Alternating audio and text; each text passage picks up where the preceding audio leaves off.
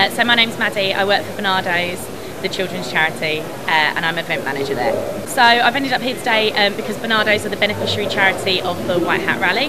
Uh, it's a three-day car rally. Um, this year we're going to Wales, uh, and it's a great networking and fundraising event, raising money for children who are sexually exploited. Uh, so my typical day with the White Hat Rally um, is coming to things like Infosec and uh, marketing all the um, sponsors that we have for the event this year, and as well getting some teams on board too. Uh, so the best bits of my job uh, are getting to meet the people who want to come on the rally, and uh, uh definitely going on the rally itself. It's, it's the most amount of fun um, I've had in my day job, so it's brilliant. Uh, and the worst bits, I don't know. I don't think there are any.